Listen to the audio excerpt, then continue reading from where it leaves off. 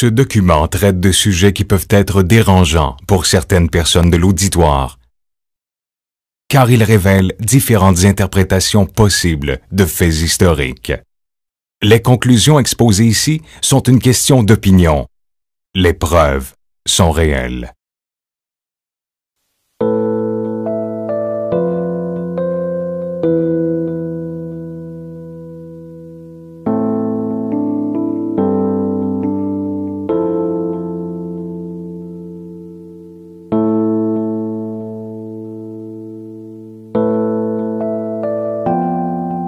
Durant la deuxième moitié du 15e siècle, vivait un homme du nom de Léonard de Vinci. Son génie scintillait au travers tous les champs d'intérêt qu'il explorait. Ingénieur, architecte, philosophe, inventeur et musicien. La curiosité était le moteur de toutes ses entreprises. Il voit sa vie à la compréhension du monde, à l'anatomie ainsi qu'à l'étude des mécanismes pour arriver à multiplier la force physique.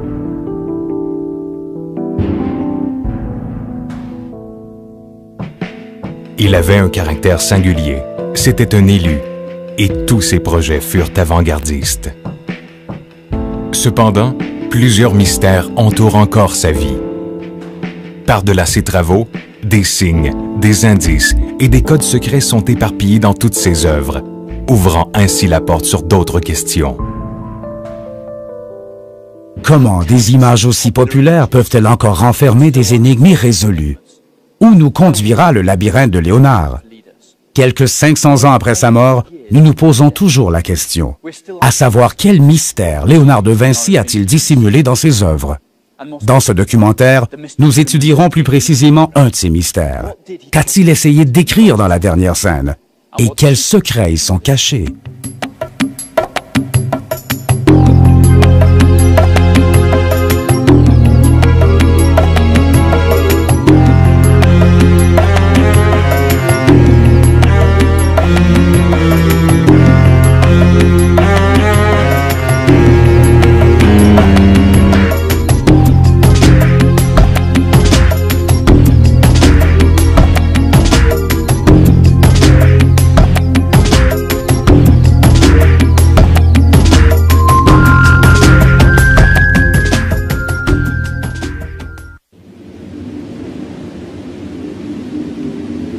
L'année zéro marque le début du christianisme.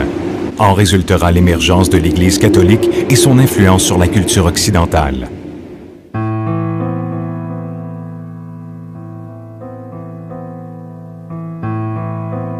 De par ses rapports complexes et ambigus avec l'art, encore plus avec la science, l'Église influencera grandement à l'Occident.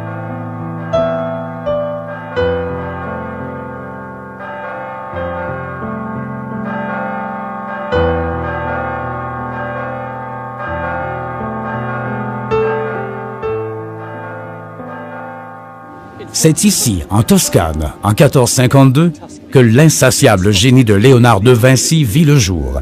Sa rencontre avec l'Église était inévitable. À cette époque-là, l'Église était le gardien principal de tous les artistes. Léonard de Vinci ne faisait pas exception. À vrai dire, certaines de ses œuvres sont considérées comme étant les représentations officielles de nombreux passages clés du Nouveau Testament. Mesdames et messieurs, c'est ici que le mystère débute.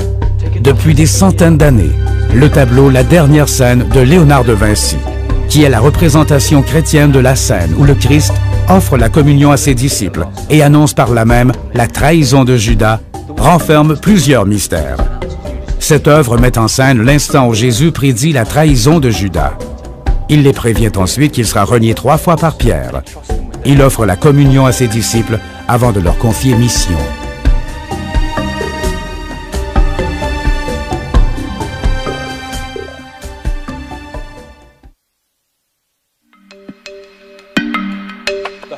Avec le pain, le vin et la croix, le calice reste le symbole le plus commun du christianisme au travers des époques.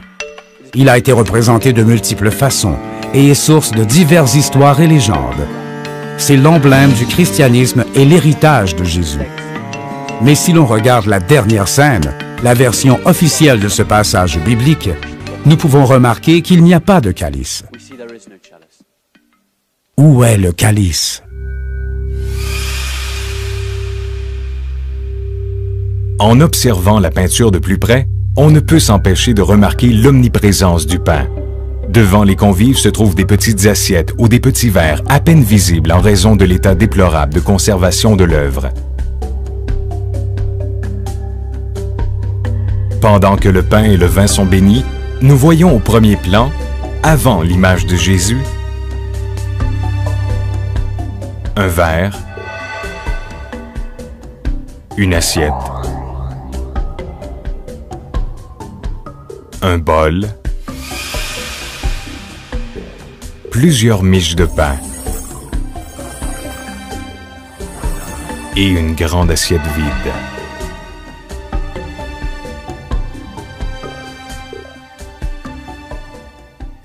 L'absence du calice n'est pas qu'une simple omission. Elle est le premier indice de plusieurs secrets dissimulés dans cette toile dite de la dernière scène. Pourquoi Léonard n'a-t-il pas peint le calice? Il est probable que cette peinture a pour but de nous laisser entrevoir une version différente de la vie du Christ. Peu de documents relatent la vie de Jésus. En plus des quatre livres de la Bible communément acceptés par l'Église, l'Évangile selon Matthieu, Marc, Luc et Jean, il existe d'autres textes. Ces textes ont été écrits par les premiers chrétiens. Ils sont connus sous le nom d'évangiles gnostiques, ou selon l'Église, qui les rejette et qui les considère comme hérétiques, les évangiles apocryphes. Ces textes rassemblent l'Évangile selon Thomas, le livre secret de Jacques, l'Évangile selon Marie-Madeleine, les actes de Thomas et de Pierre, ainsi que l'Évangile de la vérité. Ces textes relatent une histoire plutôt différente de celle habituellement admise et acceptée par l'Église. Ils ont été expressément rejetés et exclus de la Bible par l'Église. Ces textes racontent une histoire qui a été réduite au silence. Ils nous présentent un Jésus différent de l'homme que nous avons appris à connaître.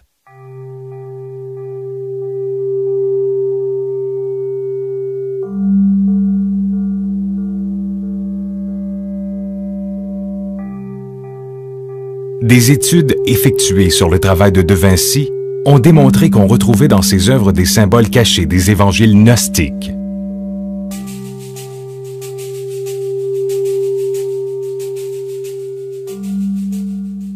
Si ceci est vrai, on peut se demander quelle histoire de Jésus Léonard de Vinci essaie-t-il de nous exposer dans la dernière scène.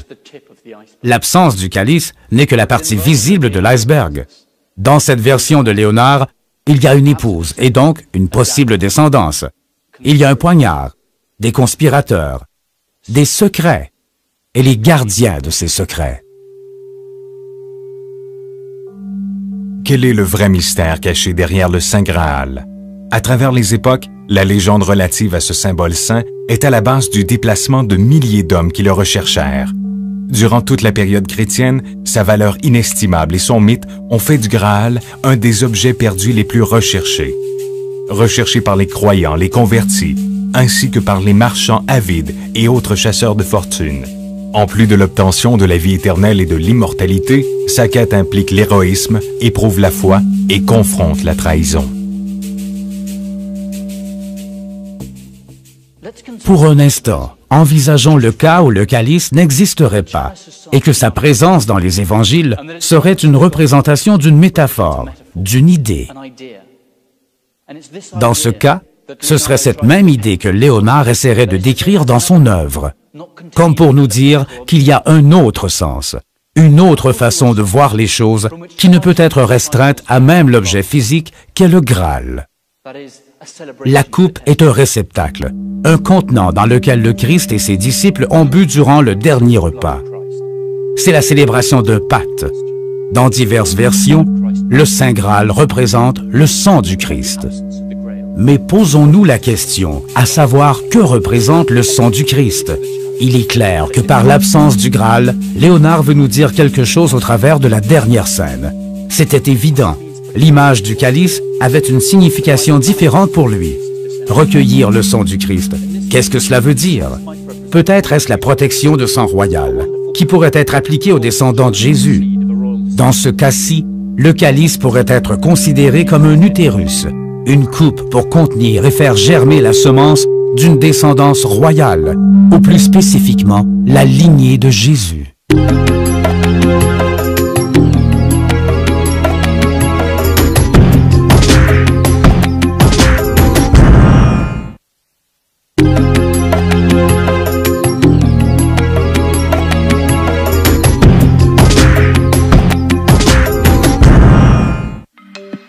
Résumons.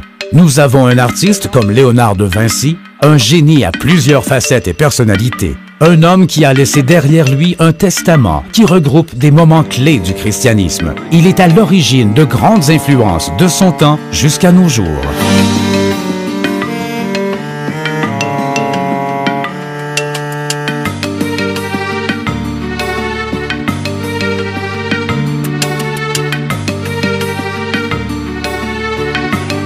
Entre la version de Léonard, qui est considérée comme la version officielle, et le même événement décrit dans la Bible, nous distinguons plusieurs différences troublantes, spécialement à la table de la dernière scène. Le calice n'y figure pas, puis nous apprenons via des documents non officiels que le Saint Graal, aussi connu sous le nom de sang royal, pourrait faire référence à deux choses. Premièrement, à la progéniture, à la descendance de Jésus. Deuxièmement, à l'antre, comme un utérus qui contient le sang de Jésus et qui lui donna sa lignée.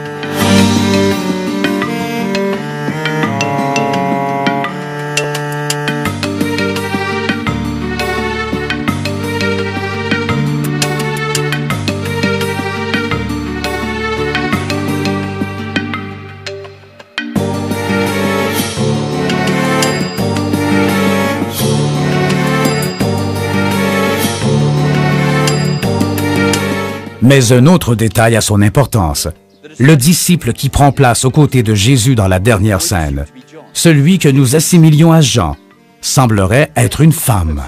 Approchons-nous plus près de ce monde hérétique. Essayons de voir l'autre face de cette histoire.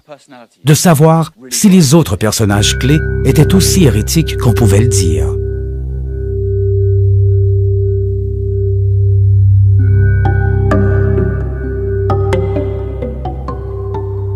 La version non officielle nous dit qu'il y a plusieurs documents qui racontent la vérité sur la vie de Jésus, des apôtres et sur le monde pré-chrétien. L'endroit où se trouvaient ces documents n'a jamais été connu avec certitude, ni l'identité des détenteurs, ni même la manière avec laquelle ils furent préservés au travers des siècles.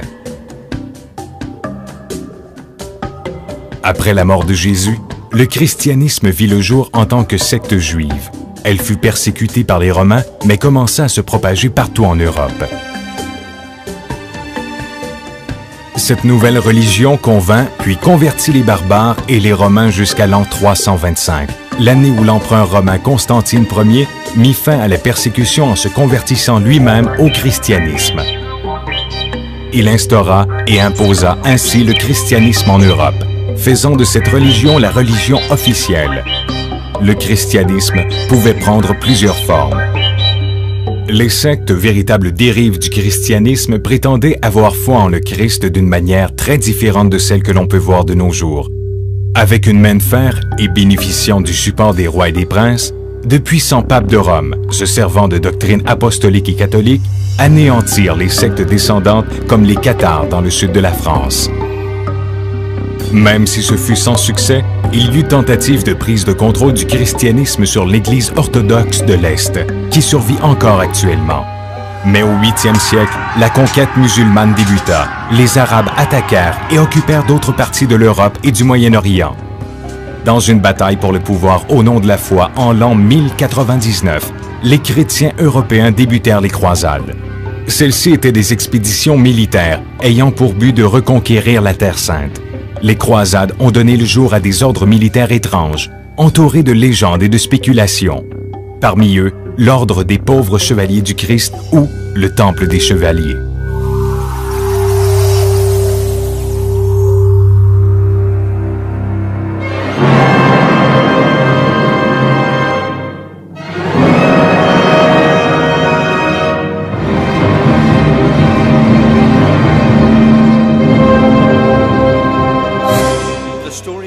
L'histoire des Templiers est l'un des chapitres les plus passionnants et énigmatiques de l'histoire du christianisme. Revenons au début. Notre histoire nous ramène au 11e siècle, en 1099, dans une église catholique déjà extrêmement puissante, quand le pape en place, Urbain, descendant de l'apôtre Pierre, plonge l'Europe dans la guerre pour reprendre Jérusalem qui est tombée sous contrôle musulman. Ainsi commence la période dite des croisades. Près de 200 ans de guerre durant lesquels l'Europe versa son sang pour tenter de récupérer la Terre Sainte. 200 ans durant lesquels des chevaliers, des rois et même des enfants ont donné leur vie au nom de la foi, d'une foi aveugle.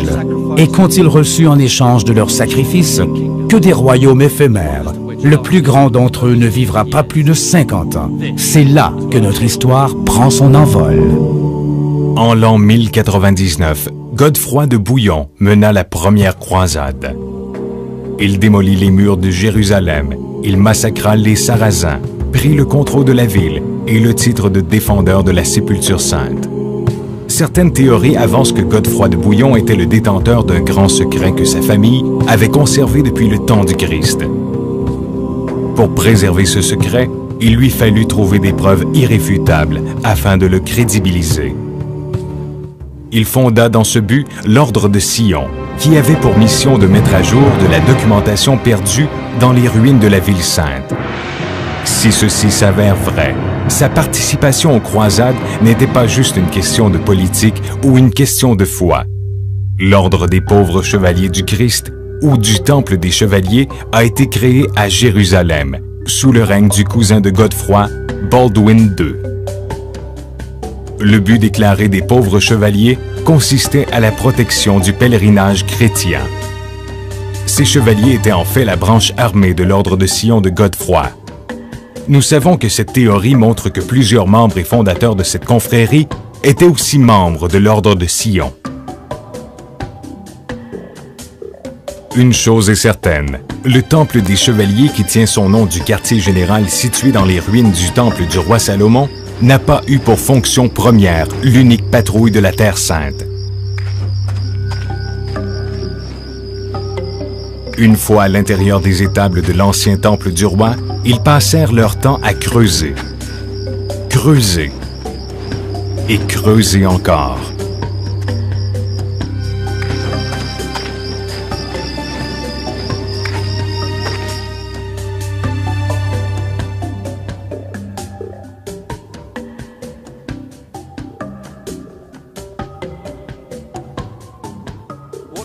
Pourquoi neuf Templiers, supposément en charge de la sécurité des pèlerins, se retrouvaient-ils à creuser dans les ruines du temple du roi Salomon? Et qu'ont-ils trouvé? Personne ne le sait. Mais parallèlement, un étonnant ordre de moines, un ordre que l'on peut qualifier de mineur, devint rapidement une des corporations les plus influentes et puissantes d'Europe. Et ils bénéficièrent d'innombrables avantages et exemptions papales. C'est avec le pape Innocent II que leur fut accordé par décret papal un pouvoir absolu et une indépendance sur toute autorité politique et religieuse. La bonne fortune des Templiers durera jusqu'au milieu du 14e siècle. En plus des exemptions papales dont ils tiraient avantage, ils recevaient des cadeaux et des dons venant de nobles de partout en Europe. Ils amassèrent une si grande fortune qu'ils acquirent des propriétés dans plus de 12 pays et commencèrent à offrir des prêts à des familles royales ruinées, des prêts qui devaient être remboursés à de généreux taux d'intérêt. Ainsi, les Templiers sont à l'origine de ce qui deviendra beaucoup plus tard la première banque de crédit. Pourquoi l'Église leur réservait-elle un traitement si spécial? Serait-ce à cause des secrets qu'ils découvrirent dans les ruines du temple du roi Salomon? Mais tout pouvoir a ses limites, et les chevaliers du temple n'échappèrent pas à cette règle. Ils s'éteignirent au 14e siècle, en l'an 1307, durant une nuit marquée par la violence, le feu et le sang. Avec la pression engendrée par les dettes et le besoin de fonds pour une nouvelle croisade, le dévoué roi de France Philippe IV décréta que les chevaliers du Temple étaient allés trop loin. Au travers d'une opération militaire jumelée et simultanée, tous ces soldats reçurent un ordre de mission portant le sceau royal, une enveloppe qui ne pouvait être ouverte avant le vendredi 13 octobre. Son contenu allait être fatal pour les chevaliers du Temple. Ils furent accusés d'être hérétiques, sataniques, sodomites, blasphématoires et accusés d'autres crimes tellement horribles auxquels nous ne ferons pas référence ici. En définitive, ils devaient être immédiatement arrêtés et leur trésor devait être saisi.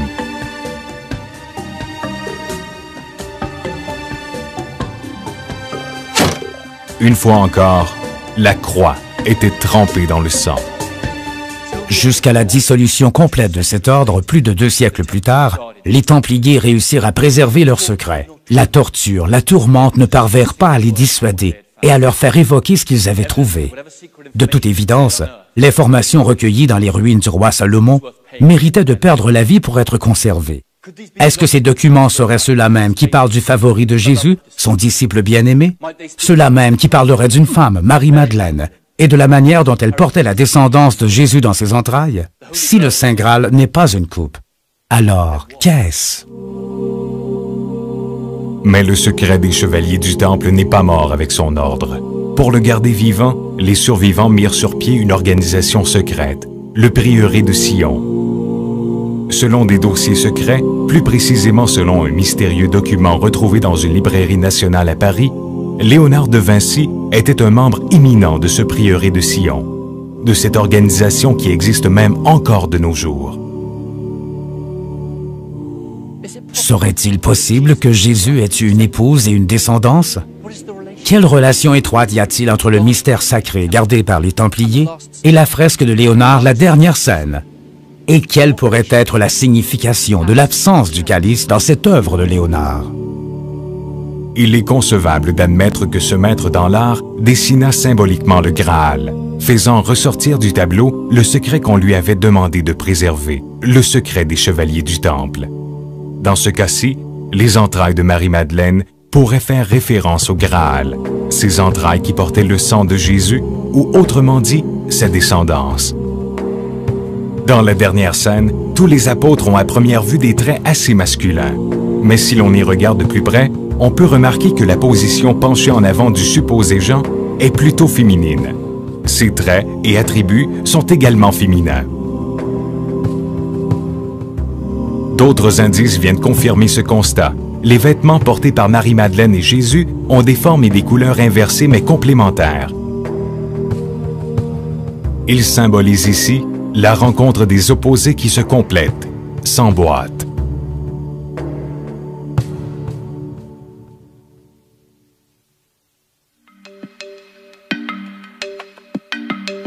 Léonard de Vinci scénarisait toujours ses œuvres et ce de façon obsessive.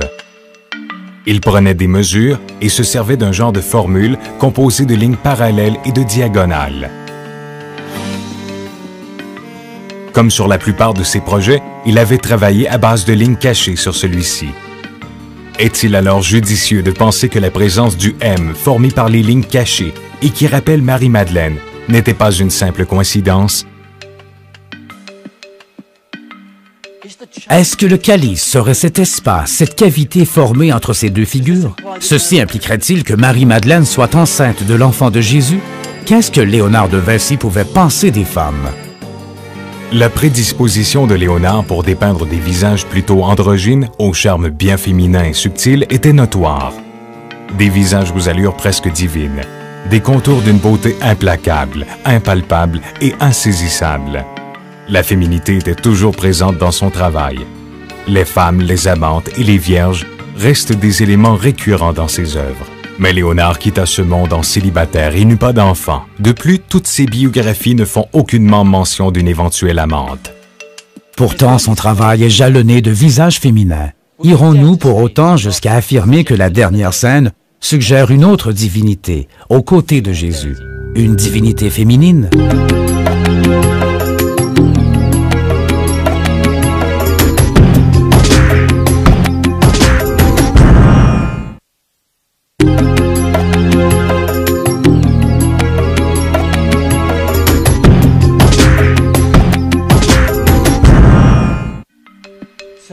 Avancer que Léonard a peint Marie-Madeleine et non l'apôtre Jean est une affirmation bien audacieuse. Cela nous amène à étudier de plus près le rôle de cette femme dans les évangiles. Deux contextes relatifs à deux visages dans la Bible ont toujours été difficiles à comprendre et à interpréter. Mais malgré tout, ils restent des éléments cruciaux de la vie de Jésus. Le premier fait référence à Jean le Baptiste, que certains considèrent être le cousin de Jésus. En ressort une relation contenue entre amour et rivalité. Le deuxième fait référence à Marie-Madeleine, elle qui lava les pieds de Jésus, elle qui était la seule femme présente à ses côtés sans avoir pour autant un lien de sang. Tout comme Jean le Baptiste peut être considéré comme le commencement, Marie-Madeleine, qui est la première à voir le Christ ressuscité, peut être considérée comme la fin, le début et la fin, telle une boucle, une de ces nombreuses boucles que Léonard de Vinci aimait mettre en évidence. À table, près de Jésus, tout contre son sein, se trouvait un de ses disciples, celui que Jésus préférait.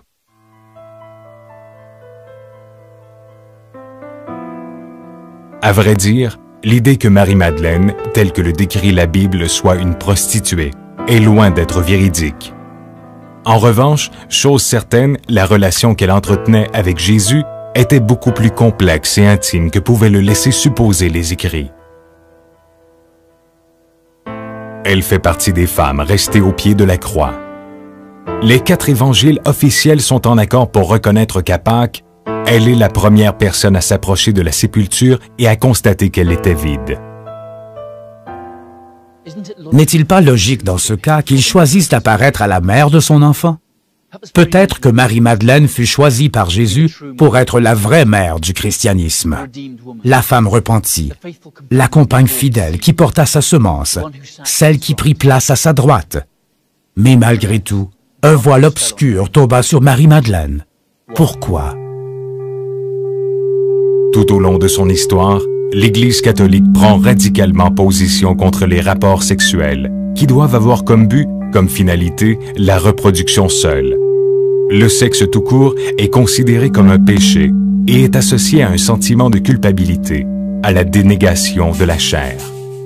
Détail extrêmement important, Jésus n'aurait pas été directement illuminé par Dieu, car c'est le fils d'un couple choisi, d'une femme intacte, de la Vierge Marie, qui de ce fait avait un corps qui ne pouvait être souillé, et cela s'appliquait donc à sa descendance. De même, le fait qu'il n'y ait aucune famille dans l'ascension de Jésus implique une absence de femmes parmi ses apôtres. Les femmes furent persécutées par l'Inquisition qui leur mena une vraie chasse aux sorcières. Elles étaient qualifiées d'être perfides, corrompues et lascives. Comment se fait-il que ceux qui possédaient le savoir et le pouvoir spirituel aient une si grande crainte de la femme? Pour l'Église traditionnelle, la sexualité de Marie-Madeleine n'a pas été difficile à exploiter. Marie-Madeleine est considérée comme la femme aux sept démons, la pécheresse. Avec cette image, il est logique de considérer le contact de la chair comme une déficience qui nécessiterait rédemption. Il y a par contre une question très troublante qui reste sans réponse et qui est devenue un tabou. Juste la mentionner est un péché. La sexualité du Christ. Y a-t-il une raison réelle qui nous pousse à croire au célibat du Christ ou qu'il le prônait? La réponse est non. Le présumé célibat de Jésus et de ses disciples est considéré comme une vérité indiscutable, mais n'est pas une conclusion si logique que cela. Être juif et ne pas avoir d'enfant était considéré comme une sorte de trahison au point de vue religieux. Un homme dans la trentaine sans enfant ou même sans femme aurait certainement attiré l'attention. D'ailleurs, les chroniques du temps n'auraient certainement pas omis de mentionner un tel fait, surtout si la personne en question était de notoriété publique. Tous étaient conscients que le Christ et ses inconditionnels avaient beaucoup d'ennemis, qui ne se seraient sûrement pas privés de se servir de telles allégations pour les qualifier d'homosexuels. En effet, à cette époque, l'homosexualité était un crime sévèrement puni. Dans les œuvres de Léonard de Vinci, les femmes dégagent de l'angélisme, une impalpable et éternelle pureté tandis que les hommes dégagent de la force, de la violence et suscitent l'intrigue. Mais son rapport avec le féminin et le masculin allait s'avérer beaucoup plus complexe que cela. L'histoire nous apprend qu'en l'an 1476, un jeune garçon de 17 ans accusa un groupe de jeunes hommes de sodomite. Léonard de Vinci faisait partie de ce groupe et personne ne put le soustraire à effectuer deux mois de prison. Il est intéressant aussi de noter à quel point tous les biographes qui se sont attachés à reconstituer sa vie ont tenté d'éviter cet épisode comme s'il s'agissait d'une imperfection disgracieuse. L'homosexualité de Léonard est un fait. Son jeune assistant Saleh et son ami Francesco Melzi apparaissent sur la liste des amants qu'il avait. Pour lui, les femmes étaient des êtres supérieurs, presque intouchables, telle une sorte de madone, de mère absente ou d'épouse d'un dieu. Léonard de Vinci était un personnage très charismatique. Il était fort séduisant et avait une grande force physique. Il pouvait littéralement courber un fer à cheval à main nue comme s'il était fait de plomb. Mais en même temps, il jouait fort bien d'instruments comme la flûte, la lyre et la mandoline. Il était aussi excellent cuisinier et conteur d'histoires. Dans ce contexte, il est difficile d'imaginer qu'un seul sexe pouvait satisfaire à toutes les différentes facettes de ses énergies. Pour lui, l'univers est un terrain de jeu. Cependant, affirmer que les créations de Léonard de Vinci étaient une façon indirecte d'exprimer ses préférences sexuelles est un concept inepte. La présence de Marie-Madeleine dans la dernière scène est bien plus que de la psychologie ou une déclaration d'identité sexuelle. C'est assurément une prise de position. Léonard de Vinci aurait supposément été membre d'une communauté secrète comme le prieuré de Sion, un groupe d'hérétiques qui défendait la position de Marie-Madeleine dans l'Église. En raison de la censure, cette pensée, cette prise de position morale et politique ne pouvait se transmettre, se communiquer que par symbolisme. Avec cette information, il est logique de se poser la même question qu'au départ. Pourquoi Léonard a-t-il peint une femme aux côtés de Jésus dans la dernière scène? La réponse est évidente. Il croyait qu'elle devait être là. À quel danger ce maître s'est-il exposé en décidant de révéler cette portion de la Bible? Pourquoi ce secret autour de ce message? Pourquoi la mère de l'Église fut-elle considérée comme pécheresse à peine après avoir lavé les pieds du Christ?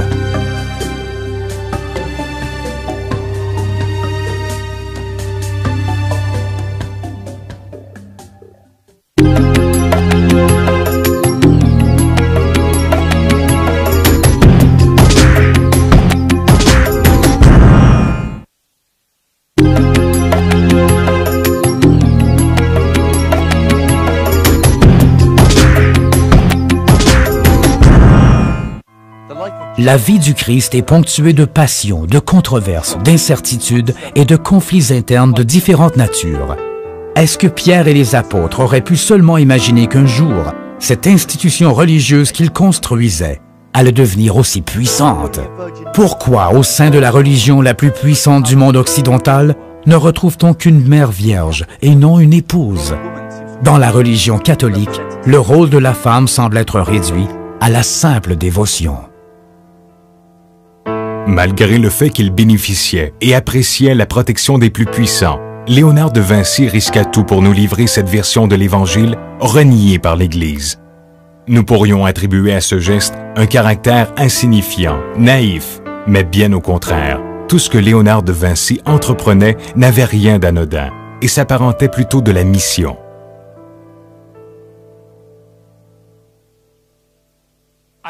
Léonard de Vinci, l'artiste, l'inventeur, le musicien et le philosophe, était investi d'une mission et sa vie tournait autour de cette dernière.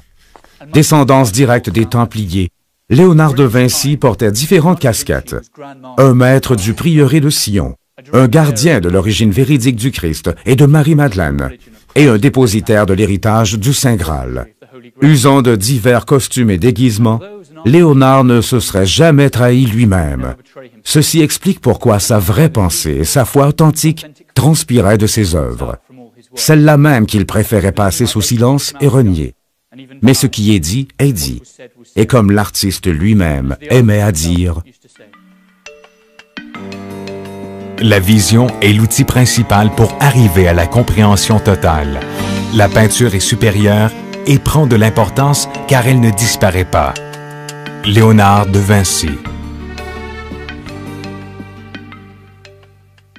Son travail continue à faire parler et à nous interpeller. Peut-on imaginer Léonard participant à des cérémonies secrètes, exécutant des rituels anciens et interdits? De par ses nombreuses connexions dans la haute société et la classe moyenne, il était l'homme idéal pour ce genre d'activité.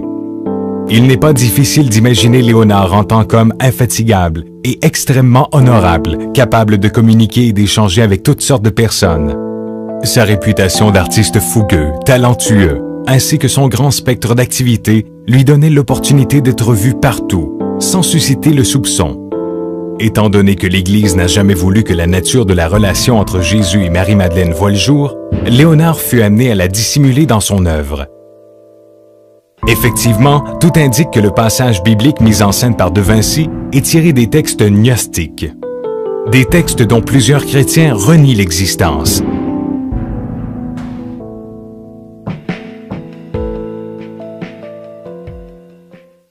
Si le désir de Jésus était d'épouser Marie-Madeleine, de lui faire engendrer sa progéniture, sa descendance, la rendant ainsi mère de l'Église, alors pourquoi et à cause de qui a-t-on fait disparaître ce concept d'une divinité féminine au sein du christianisme?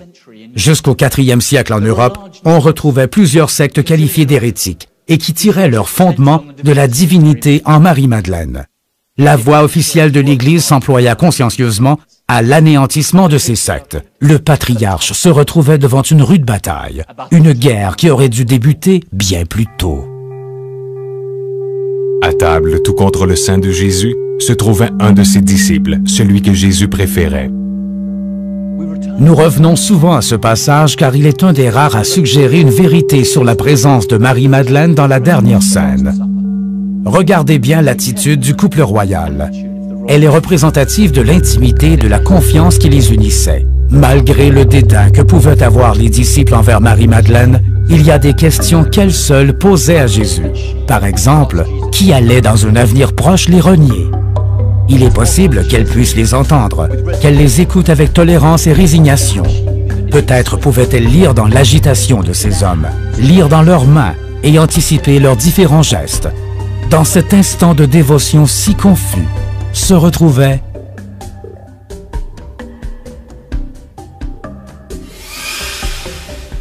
un poignard. À qui appartient cette main qui tient le poignard? Et quelle est la symbolique de ce couteau?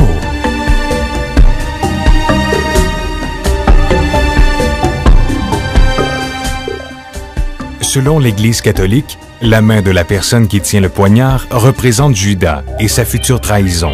Dans les écrits de Léonard, la main tenant ce poignard est attribuée à Pierre, qui utilisera ce couteau pour trancher le pain. Mais si nous y regardons de plus près, nous pouvons voir la fin d'un avant-bras qui n'est pas celui de Pierre. En observant sous un autre angle, elle pourrait bien être attribuée à Marie-Madeleine, mais la longueur de son bras ne serait pas dans les normes. Il est absurde de penser que Léonard de Vinci, ce grand maître prévoyant et réfléchi, aurait pu se tromper dans la création d'une de ses œuvres les plus importantes. La vision de la main de Pierre autour du cou de Marie-Madeleine est aussi frappante. Elle pourrait évoquer son égorgement.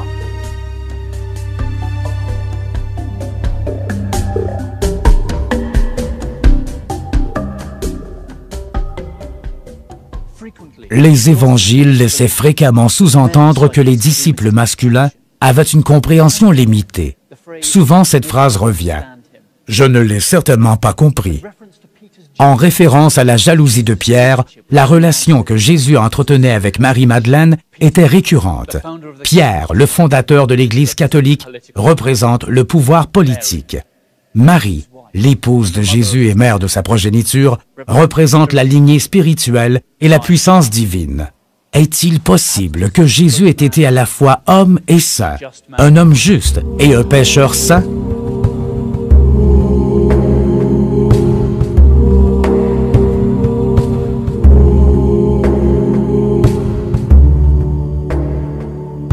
Ensemble, nous avons commencé à faire la lumière sur les mystères légués par Léonard de Vinci, ce génie de la Renaissance. Oserez-vous me suivre dans ce monde empli de questions?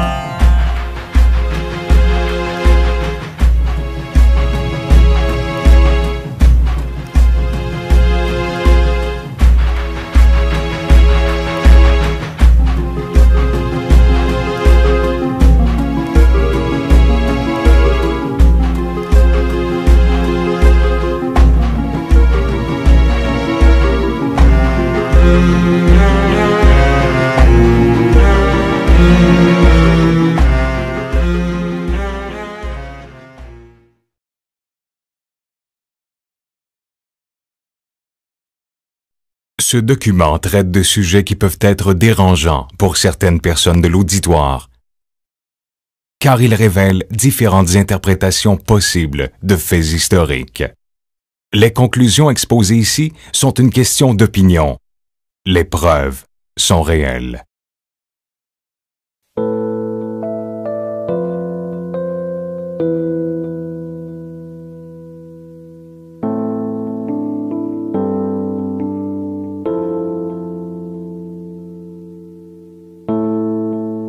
Au 14 ou 15e siècle après Jésus-Christ, vécut un talentueux visionnaire, débordant de talent. Tel un alchimiste, il savait combiner différents ingrédients comme l'art, les sciences, la musique, la poésie, la cuisine. Une quête perpétuelle de réponses et une certaine célébration de la vie. Il s'appelait Léonard de Vinci. Il marqua fortement son temps Rien que son nom symbolisait son époque. Un des noms les plus vibrants de toute l'histoire de la civilisation dite de la pré-Renaissance. Appuyé mais toujours surveillé par la religion, Léonard s'escrima à faire la lumière sur la signification du côté mystérieux du monde. En aspirant à la compréhension des mécanismes de la vie et à la manière de surmonter la mort, Léonard surpassait l'état d'artiste. À partir du moment où il commença à peindre, et ce jusqu'à maintenant, au troisième millénaire après Jésus-Christ, il fut discrédité et accusé maintes fois d'hérésie, de pratiques de sciences occultes et d'alchimiste. Chaque fois, il réussit à contourner ces accusations.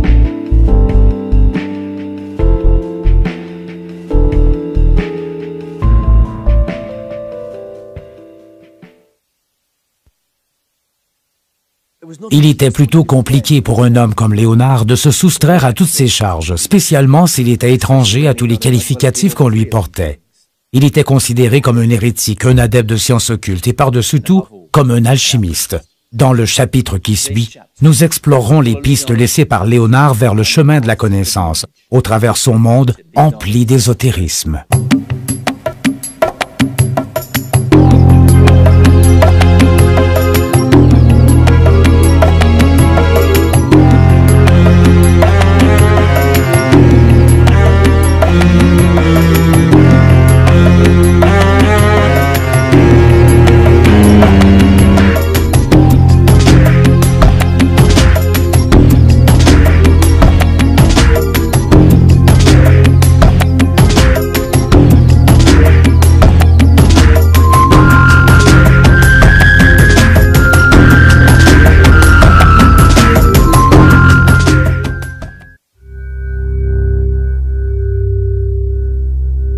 Les sciences occultes, interdites de pratique, voire bannies, devaient créer et inventer un large éventail de symboles pour perpétuer leur mouvance, conserver leurs secrets à l'abri de la censure et de la délation.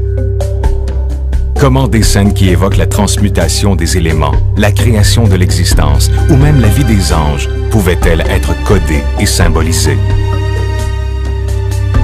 Malgré qu'ils soient généralement cachés au travers d'œuvres illustrées, ces symboles et ces messages secrets se retrouvaient parfois dans l'architecture des édifices et même dans certaines cathédrales catholiques. Au début du IVe siècle, l'alchimie était une branche reniée par la science, mais par ailleurs très réglementée. Le mot alchimie, qui signifie terre noire, date des temps anciens, et sa notion était associée à des portes cloisonnées des chemins et secrets bien gardés. Ces visées sont fortement comparables à celles de certaines sciences d'aujourd'hui, telles que la biogénétique et la physique. L'émergence de nos jours de notions relatives à la génétique, au clonage et aux énergies de trous noirs est en réalité le fruit de cette discipline. La seule mention du mot alchimie faisait référence à une recherche spirituelle, au mystère, à des formules de transformation et de transmutation. Ce domaine était considéré comme strictement réservé à Dieu. En termes de discipline, l'alchimie tente de trouver une formule qui permettrait de transformer n'importe quel métal en or. Bien entendu, il s'agit ici d'une métaphore et d'une quête beaucoup plus profonde et complexe. Certains principes de l'alchimie se retrouvent dans un livre de Platon intitulé Timée. Dans ce livre, le philosophe grec s'interrogea sur la composition de l'univers et sur la personne qui le créa. Il en arriva au fait que l'univers et la vie étaient composés de quatre éléments variant en proportion. Le feu, l'eau, l'air et la terre. La proportion étant le cinquième élément, l'élément essentiel permettant d'unir les quatre autres. Elle est unique et est l'essence même de la vie. L'étude et la maîtrise de cette proportion sacrée était l'ambition première de tout alchimiste. Avec celle-ci, ils auraient pu trouver l'élixir de la jeunesse éternelle, percer les secrets de l'éternité et de l'exode de l'âme. N'est-il pas surprenant de trouver ces symboles camouflés à même les œuvres de Léonard de Vinci? Près de 550 ans plus tard, ces intentions cachées nous apparaissent comme de légers clins d'œil. Des affirmations subtiles, démontrant que l'histoire n'est pas tout à fait celle qui nous a été contée. Ce qui transcende l'esprit est en réalité plus fort que ce qu'ils nous ont énoncé, et que Dieu est proportionnellement aussi présent dans la fleur que dans le dogme d'une cathédrale. Jetons un œil sur l'adoration des mages, une des pièces les plus révolutionnaires de Léonard de Vinci. Elle renferme une série d'images rappelant des textes secrets et des techniques mystérieuses. Bien qu'artistiquement, cette toile soit en avance de plus de cinq siècles sur son temps, Métaphoriquement, elle recèle des énigmes et des interprétations qui ne pourront probablement jamais être élucidées. Plusieurs personnages se situent sur une fine ligne, comme entre la vie et la mort, comme s'ils se retrouvaient au beau milieu d'un cauchemar. Il y a des cages d'escalier qui ne mènent nulle part. Des visages qui ne sont pas achevés. Des fantômes, des chevaux et l'enfant Jésus au centre de la scène.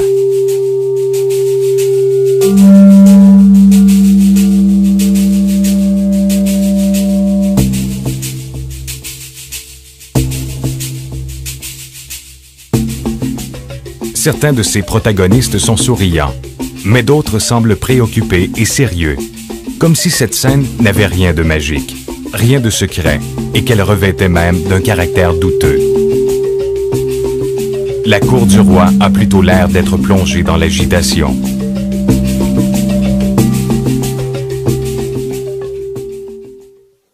Noël est caractérisé par l'annonce joyeuse des anges et par le bonheur qui entoure l'arrivée de Jésus. Pourtant, Léonard illustre une foule alarmée et mal à l'aise. Que se passe-t-il vraiment dans cette version de la vénération des rois devant l'enfant Jésus? Au lieu d'être représentés comme ils le sont habituellement, les rois semblent être des vieillards plutôt terrifiés. Les autres invités, les mages, sont quant à eux des créatures confinées entre la vie et la mort. Bien que la foi fasse partie intégrante de cette toile, on y retrouve également le doute et l'incertitude, telle l'empreinte laissée par le coup d'un poignard. Il flotte ce sentiment lourd, comme si quelque chose de grave allait arriver.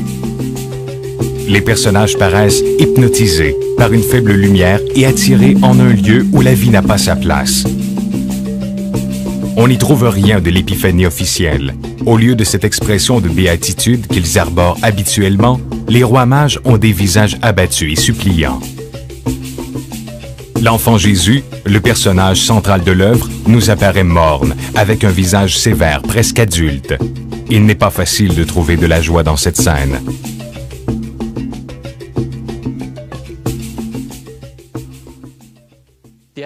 L'adoration des mages est une des pièces les plus mystérieuses offertes par Léonard et considérée inachevée pendant de longues années. Pour réaliser ses œuvres, Léonard usait de techniques incompréhensibles des autres artistes et critiques. Beaucoup se sont avancés à dire que cette toile n'avait pas été menée à terme. Qu'essaie-t-il de nous faire comprendre à travers ces vieux hommes suppliants? Quelle énigme essaie-t-il de mettre à jour? Quel mystère nous dévoile-t-il à travers cette scène emplie d'expressions énigmatiques? L'adoration des mages est truffée de signes ésotériques ne pouvant être décodés que par un alchimiste ou de ceux possédant les yeux pour voir. Regardons maintenant avec des yeux qui peuvent voir.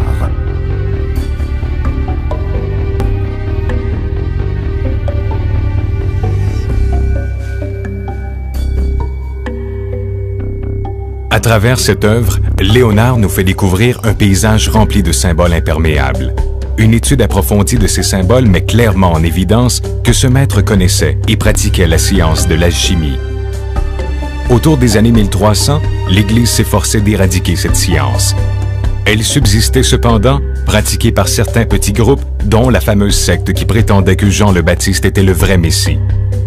Si nous observons l'ensemble de l'œuvre de De Vinci, certaines figures pourraient donner raison à cette théorie et aller à l'encontre de Jésus.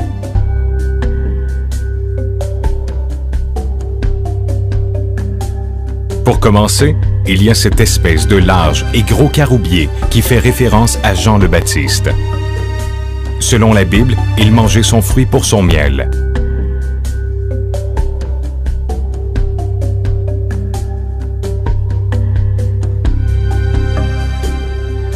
Étrangement, les personnages autour de Jésus semblent souffrants et craintifs, tandis que les autres autour de l'arbre ont l'air souriants et heureux.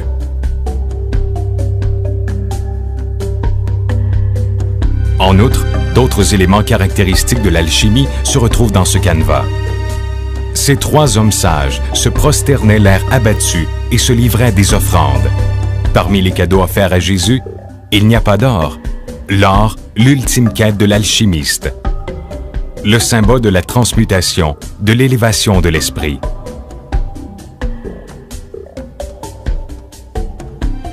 De plus, la représentation de la vie et de la mort est très particulière, illustrée ici par les visages inachevés, des lignes et des nuances de zones d'ombre. Pour les alchimistes, ceci représentait l'étape terminale qu'ils essayaient de franchir, la vie éternelle. Dans cette peinture, Léonard de Vinci, explorateur, va au-delà des limites de l'entendement humain.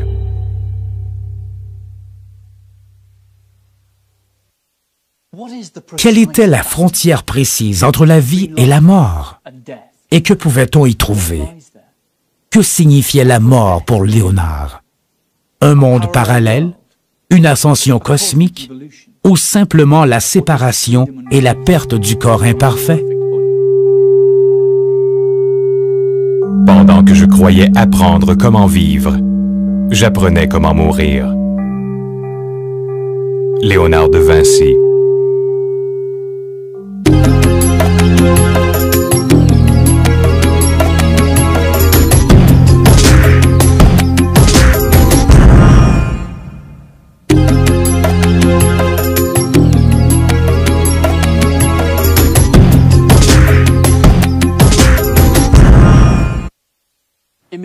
Des visages pris au piège l'espace d'un instant entre la vie et la mort. Seul un fervent observateur de la vie pouvait percevoir ainsi ce côté de l'existence. Seul un observateur possédant un troisième œil, les talents de l'artiste et la curiosité de l'alchimiste. Au lever du jour, Léonard était souvent aperçu en train d'observer les faucons. Les après-midi, il se retrouvait fréquemment au marché, là où l'on vendait les oiseaux. Il aimait observer la vie, mais on pouvait aussi le croiser dans les hôpitaux, où les personnes âgées, avec leur peau sèche comme de vieux parchemins, annonçaient la fin de la vie. Supposément, pour leur tenir compagnie durant les derniers instants de la vie, Léonard les assistait et observait de près les derniers souffles. Tout cela ne constitue cependant pas toutes les activités qu'il affectionnait. Manipuler des cadavres était considéré comme un tabou, et ce depuis les temps anciens. Les disséquer n'étaient pas uniquement condamnés, mais également considérés comme un acte diabolique. Le catholicisme, ainsi que plusieurs autres religions, bannissaient l'étude des corps inertes. Mais pour Léonard de Vinci, la mort n'était pas qu'une plongée brutale dans le néant, mais plutôt une harmonieuse culmination de l'existence. Pour Léonard, si un corps privé de vie était assurément brisé, il n'en demeurait pas moins une extraordinaire machine à explorer.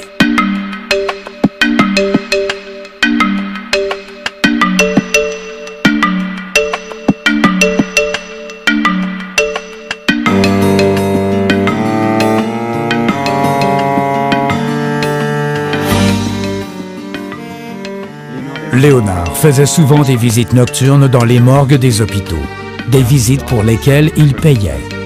Pour plus de discrétion, il préférait attendre la tombée de la nuit, moment qu'il pensait plus approprié pour s'adonner à ce passe-temps. Il entrait dans ces morgues non pas en tant que profanateur, mais en tant que scientifique.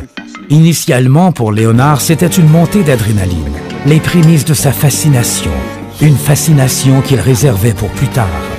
Des corps couverts et en décomposition avancée, une chandelle, la gestuelle finale de l'art de la vie, le grand silence. Tel le brouillard, il rôdait, sa main tenant maladivement son cahier de notes. Bravant les interdits et les tabous religieux, malgré les risques d'accusation éventuels, rien ne pouvait arrêter ses recherches. Il avait passé des années à se préparer pour cette tâche. Son mentor lui avait répété maintes et maintes fois qu'un artiste se devait de connaître le corps humain en profondeur. Il devait comprendre la manière dont bouge un bras, la manière dont les muscles du visage s'articulent quand une personne pleure et même la manière dont les rides du visage se forment avec le temps. Mais Léonard allait bien plus loin que la simple anatomie. Il étudiait les cadavres pour découvrir des traces de leur dernier souffle. Léonard mit en évidence que la colonne vertébrale se constituait de 31 vertèbres et non de 30 comme on le croyait auparavant. La découverte de cette dernière vertèbre était essentielle à la compréhension du fonctionnement de la colonne. Léonard comprit les mécanismes, les secrets du mouvement. D'une arcane enfouie à même un cadavre humain, le premier accord de la symphonie de Dieu.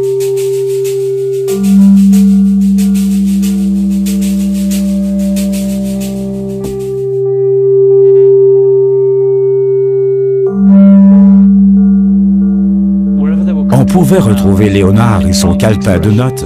Partout se manifestaient des bouches contorsionnées et des expressions d'extase. Toujours obsédé par l'instant où la vie quitte un corps, en la quête de l'essence de la vie et à la recherche des proportions exactes des choses. Est-il concevable qu'un homme aussi audacieux et curieux que Léonard de Vinci ne se soit jamais aventuré sur les sentiers mystérieux de l'alchimie? Les pratiques qui allaient à l'encontre des dogmes officiels, tels que l'explication de l'âme, même si elles étaient conduites par la raison et avaient pour finalité la connaissance, ont toujours été qualifiées d'hérétiques.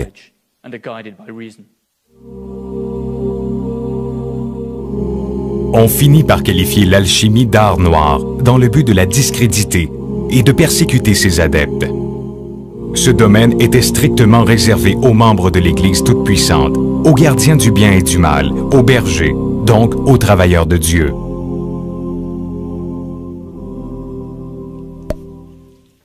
Pour éviter les obstacles, Léonard reniait son statut d'alchimiste et s'affirmait comme un scientifique et naturaliste. Une fois les interrogations apaisées, son chevalet se transformait en table, sa palette en échelle et son canevas en creuset. Il avait de grandes ambitions. En essayant de décortiquer les procédés de Dieu, il cherchait à les comprendre, à atteindre l'âme et la cerner par des mécanismes. Il voulait, en utilisant ces différents mécanismes et en les alliant avec les éléments de l'univers, créer une machine vivante et parfaite. Toute chose a un mécanisme, une manière de fonctionner. Tous les systèmes peuvent être reproduits. Tout ce qui nous manque, c'est une formule pour y parvenir. Léonard de Vinci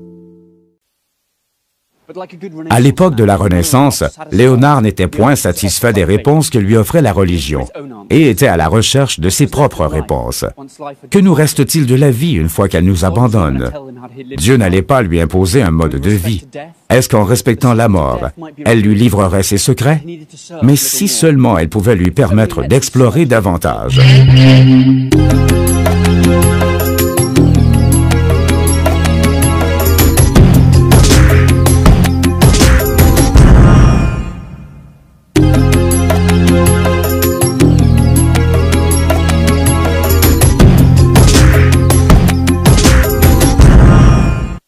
Récapitulons. À même cette œuvre qu'est l'adoration des mages, se dissimulent plusieurs symboles reliés à l'alchimie et qui nous laissent penser que Léonard en était un fervent partisan, ou du moins un sympathisant, qui assimilait plusieurs de ses concepts. Même en étant sous la menace des interdits, Léonard continua ses travaux. Sa volonté était plus forte que les risques encourus. La simulation lui était familière. Il pouvait, à volonté, se fondre et changer de milieu social. Afin d'assouvir sa curiosité primaire, cet artiste célèbre se risquait et s'aventurait dans des mondes secrets. Il était en paix avec Dieu et avec l'art, mais la quête perpétuelle de réponse était sa destinée. Léonard de Vinci cherchait par tous les moyens à découvrir la proportion parfaite des choses. Il était influencé par les mathématiques et cela se ressentait dans toutes ses entreprises. Il pratiquait une musique orientée vers les mathématiques, la géométrie de la nature, l'astronomie. Sans aucun répit, il cherchait. Une question retentissait sans arrêt dans sa tête. Dieu s'est-il servi d'une certaine clé pour en arriver à la création de l'homme et de la nature? Le secret de cette clé est contenu dans une formule mathématique, une formule que Dieu utilisa pour la création du monde. La formule sacrée, le secret des proportions. La vie de Léonard se résume à la recherche de cette formule, telle une obsession. D'ailleurs, L'homme de Vitruve, une de ses plus grandes œuvres, est une réflexion fidèle de cette obsession. Dans cette œuvre, Léonard de Vinci nous expose une certaine complémentarité des éléments, le tout dans un environnement harmonieux, la rencontre des opposés est un des principes de base de l'alchimie. Le pentacle unit l'homme avec le monde, le dynamisme et le statique, le carré et le cercle.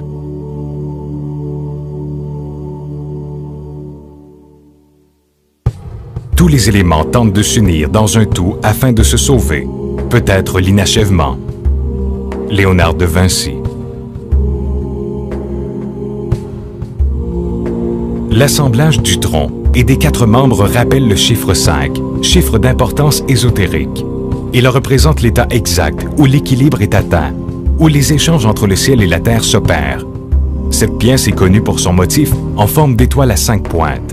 Dans certaines cultures, cette forme était décrite comme étant un pentacle, le symbole pré-chrétien associé à la nature. Elle représente l'harmonie entre les éléments féminins et masculins, le yin et le yang de l'Orient. Elle représente également la formule exacte qui révèle la composition de la balance qui équilibre le monde. Créer la vie, comme élaborer une potion magique, nécessite le mélange et le dosage d'épices qui, les unes après les autres, forment le magma. La fameuse recette tant convoitée par les alchimistes qui a permis, en associant les différents éléments que sont le feu, l'eau, l'air et la terre, et ce dans les bonnes proportions, la création de l'univers. Les notes personnelles de l'alchimiste nous mènent à la connaissance du corps, de sa chimie, à l'étude de ses limites, à l'étude de la vie et de la mort. Il nous indique comment arriver à se nourrir. Cuisiner avec Léonard présentait plusieurs avantages et autres satisfactions. On apprenait l'investigation, la création, le mixage et surtout, on y prenait plaisir. Léonard de Vinci cuisinait en étant ouvert vers l'extérieur, vers les nobles et l'homme moyen. Il trouva dans la cuisine et dans certaines activités mondaines le moyen idéal pour combiner sa soif d'exploration et sa recherche de la proportion parfaite. Dans tous les cas, en cuisinant, il ne perdait de vue ses principes et sa constante recherche. La cuisine, tout comme l'alchimie, rassemble une série de valeurs rattachées entre elles par un lien de connivence. Dans ce cas-ci, c'est le talent seul et la personnalité de chacun qui combinerait ces éléments entre eux. C'est pourquoi, comme dans toute activité créatrice, en cuisine, chaque plat qui doit être considéré comme une création ne peut être répété et revêt d'un caractère unique. Mesurer, mesurer, enregistrer, compter, peser et mesurer harmonieusement. Comme il a été dit, donnez-moi un point d'appui et je déplacerai le monde.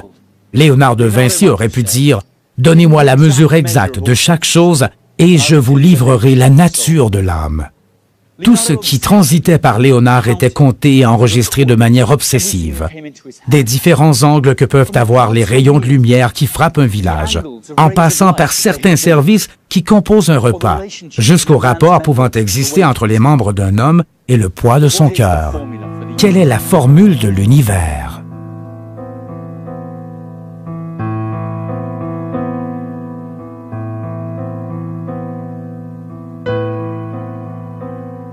Selon Léonard, les quatre éléments formant le monde, c'est-à-dire le feu, l'eau, l'air et la terre, ont une vibration cosmique. L'âme est capable de percevoir ces vibrations, de capter cette dimension par les cinq sens dont l'homme dispose. Tous les atomes qui constituent l'univers possèdent une certaine énergie qui peut être convertie en fréquence audible. On appelait cela la musique. C'est pour cette bonne raison que la musique est aussi qualifiée de langage universel. La musique serait la clé qui ouvrirait la voie des sentiers cachés de l'âme. D'une manière générale, et ce depuis des siècles, la musique reste le moyen de communication avec les dieux, l'éternel, et faisait partie intégrante de différents rituels. La vie elle-même est rythmée par les battements du cœur.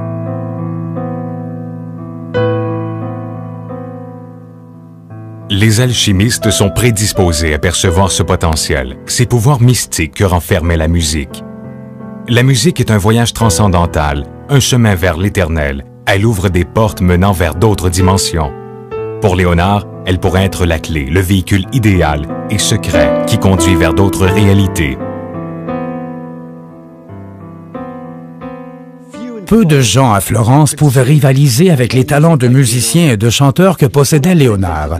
Il imagina et créa des instruments de musique de différentes formes, comme des flûtes, en forme de crâne, de cheval ou de ventre de poisson.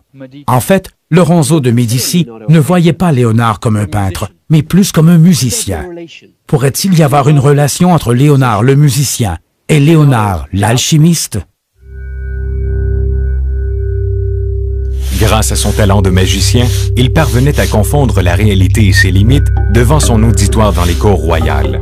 En tant qu'alchimiste, il pouvait anticiper les émotions, le poids et la mesure exacte que chaque note allait produire sur une âme sensible, comme s'il possédait des mémoires de vie antérieures ou des visions futuristes. Tel un enfant curieux, Léonard jouait avec ses âmes et l'usait de déconstruction afin de mieux les comprendre. Au travers de la musique et du corps humain, la thématique maîtresse de Léonard et des maîtres de la Renaissance était la recherche des proportions parfaites. Cette idée était aussi véhiculée par le biais de l'architecture. La musique se retrouvait-elle à même les objets? L'univers serait-il une sorte de marée changeante, à peine observable? À cette époque, ces idées pouvaient paraître ésotériques. Mais avec le temps et l'avènement de la science, il était clair que Léonard ne faisait qu'effleurer plusieurs vérités que lui-même ne pouvait prouver.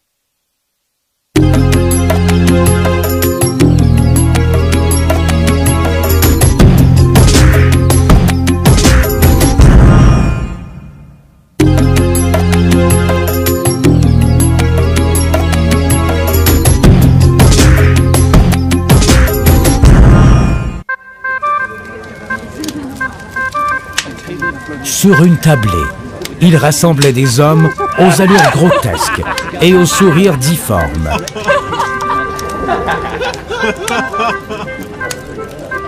Il les saoulait et leur racontait des blagues, jusqu'à temps que le rire contorsionne leur visage. Il enregistrait ces visages déformés dans sa mémoire pour plus tard pouvoir à l'aide de crayons de charbon, les reproduire minutieusement sur papier.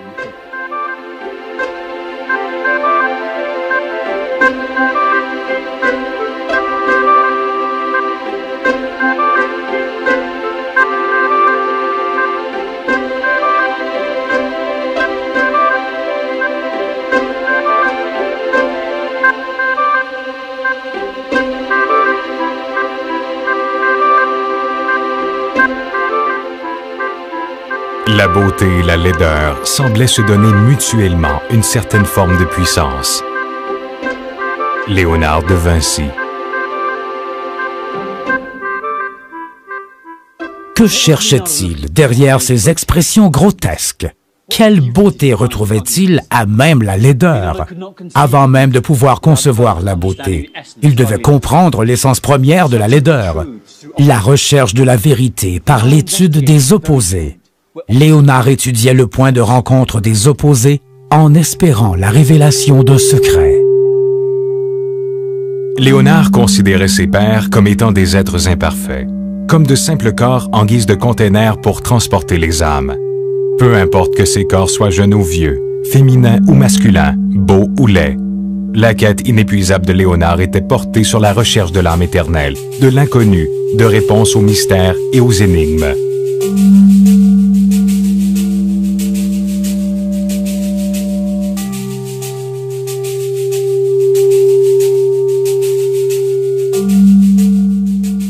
Est-ce que la vie portait en elle le germe de la mort? Léonard représentait-il la part harmonieuse ou laide de l'être humain? Ou peut-être pouvons-nous uniquement percevoir les secrets de la vie une fois proche de la mort? Tout ce que Léonard esquissait suivait une ligne logique et fluide. Tout lui arrivait par la perception, pour être méticuleusement décortiqué dans sa tête, envoyé ensuite à son cœur, pour finalement ressortir par le truchement de ses mains. Sans aucun doute, cet ensemble ainsi constitué, mariant laideur et beauté, vieillesse et jeunesse, féminin et masculin, était transformé et rendu sacré. Avec chaque détail, Léonard pouvait exprimer des idées et décrire des mécanismes complexes tels ceux d'une machine ou la puissance du saut d'un cheval. Il est coutume de dire que la peinture est le mode de vie de Léonard. En fait, elle est la seule activité qu'il n'abandonna jamais. Il s'essaya à plusieurs disciplines et s'impliqua dans chacune d'elles. Mais en réalité, il vivait et s'extériorisait par son crayon et son pinceau. C'est ainsi qu'il remplissait de réponses le vaste silence d'un canevas dénudé. Et c'est dans ces instants précieux qu'il se retrouvait vraiment. Le croquis d'une jeune femme à l'aspect de sorcière se regardant dans le miroir pouvait aisément être pris et présenté comme une confession de l'alchimiste Léonard. En revanche, si nous y regardons de plus près, nous pouvons distinguer les traits d'un vieil homme à l'intérieur du visage de la jeune femme. Sans être un concours de circonstances, ce vieil homme ressemble étrangement à De Vinci. Cette illustration évoque la notion de l'unité dans la dualité de l'androgynie. Elle révèle l'imperfection profonde et enfouie en chaque être, Léonard possédait ces deux êtres. Ils coexistaient en lui. Sur plus de cinq siècles, et sans doute encore pour longtemps, l'influence de Léonard s'est propagée. Essayons de mesurer à quel point son travail a pu affecter ses contemporains. Que pensait-il de ce génie? Le percevait-il comme un artiste hors du commun, un rebelle ésotérique? Ou un maître de l'alchimie?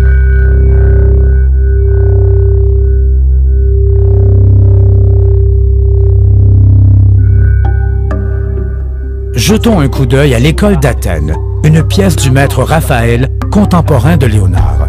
Dans cette œuvre, Raphaël attribue à Platon les traits indiscutables de Léonard, le plaçant ainsi au centre de l'œuvre, faisant de lui la figure transcendantale de son époque.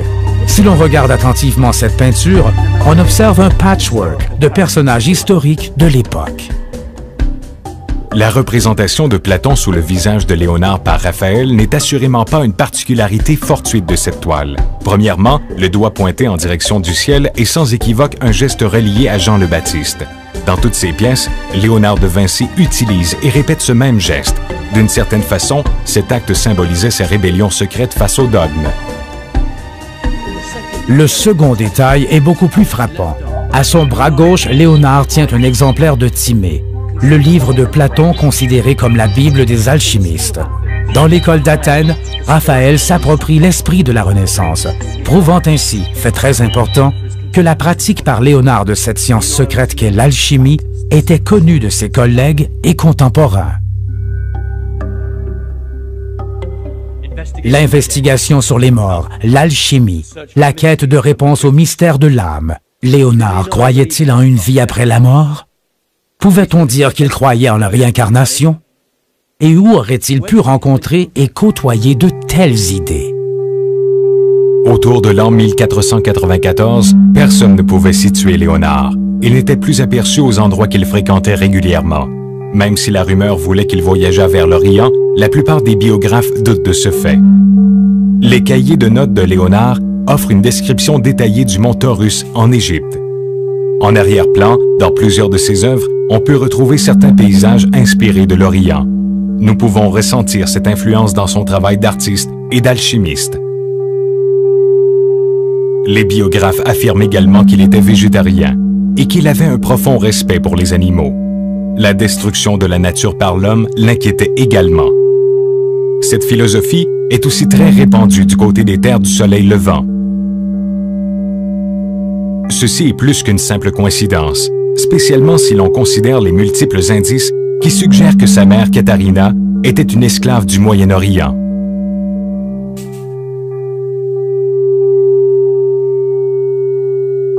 Au Aucun être ne voit sa finalité dans le néant. Léonard de Vinci. Toutes ces preuves accumulées, des messages ésotériques de son travail, à l'adoration des mages, montrent l'importance que portait Léonard à cette frontière entre la vie et la mort. Il rendait des visites secrètes dans les hôpitaux et les morgues pour tenter de comprendre la mort et pouvoir ainsi représenter les derniers instants de la vie. Il détaillait la laideur et le grotesque dans le but de saisir la beauté dans son ensemble. Sa passion pour la cuisine pouvait être perçue comme l'art de transcender le mélange de simples ingrédients. Son homme de Vitruve personnifie clairement sa quête du tout, de l'entier, et met en scène la puissance des opposés.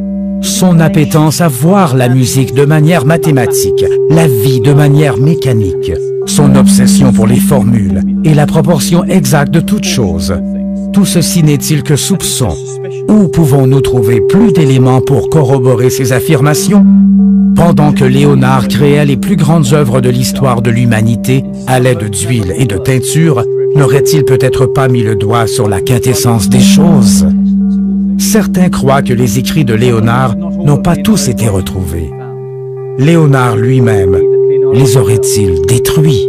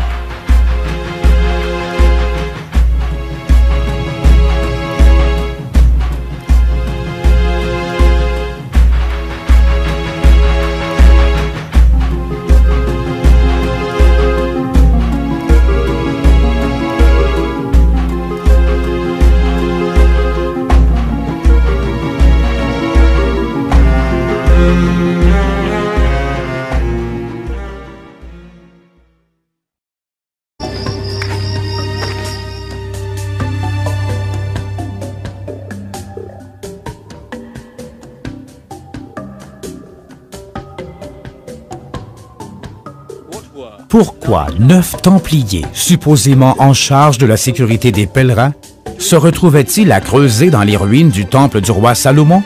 Et qu'ont-ils trouvé? Personne ne le sait. Mais parallèlement, un étonnant ordre de moines, un ordre que l'on peut qualifier de mineur, devint rapidement une des corporations les plus influentes et puissantes d'Europe.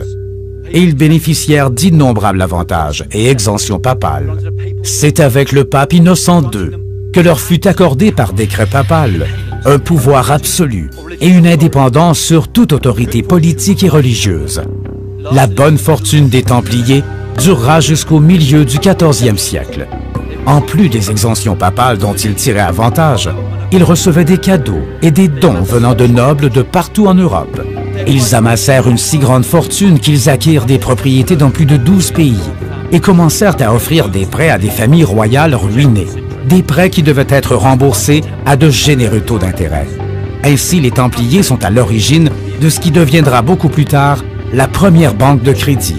Pourquoi l'Église leur réservait-elle un traitement si spécial? Serait-ce à cause des secrets qu'ils découvrirent dans les ruines du temple du roi Salomon? Alors judicieux de penser que la présence du M formé par les lignes cachées et qui rappelle Marie-Madeleine n'était pas une simple coïncidence Est-ce que le calice serait cet espace, cette cavité formée entre ces deux figures? Ceci impliquerait-il que Marie-Madeleine soit enceinte de l'enfant de Jésus? Qu'est-ce que Léonard de Vinci pouvait penser des femmes? La prédisposition de Léonard pour dépeindre des visages plutôt androgynes, au charme bien féminin et subtil, était notoire. Des visages aux allures presque divines, des contours d'une beauté implacable, impalpable et insaisissable. La féminité était toujours présente dans son travail. Les femmes, les amantes et les vierges restent des éléments récurrents dans ses œuvres. Mais Léonard quitta ce monde en célibataire et n'eut pas d'enfant. De plus, toutes ses biographies ne font aucunement mention d'une éventuelle amante. Pourtant, son travail est jalonné de visages féminins. Irons-nous pour autant jusqu'à affirmer que la dernière scène suggère une autre divinité, aux côtés de Jésus, une divinité féminine?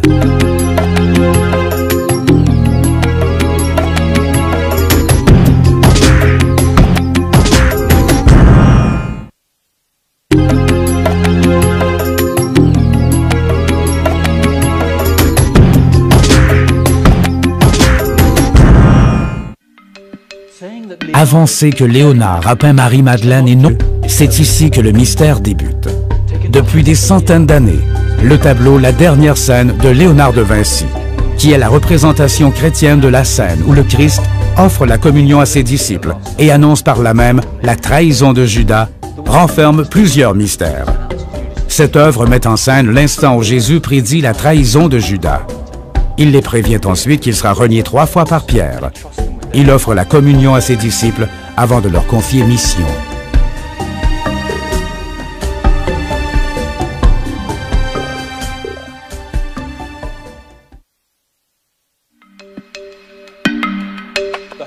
Avec le pain, le vin et la croix, le calice reste le symbole le plus commun du christianisme au travers des époques.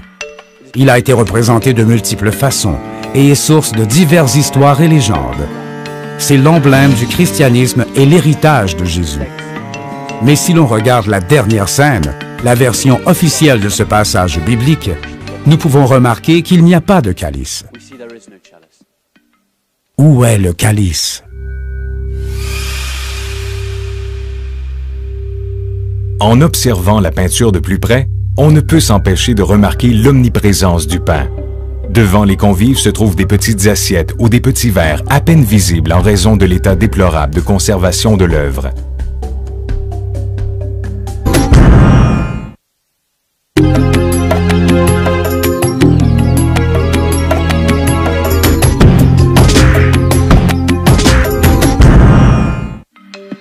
Résumons. Nous avons un artiste comme Léonard de Vinci, un génie à plusieurs facettes et personnalités, un homme qui a laissé derrière lui un testament qui regroupe des moments clés du christianisme. Il est à l'origine de grandes influences de son temps jusqu'à nos jours.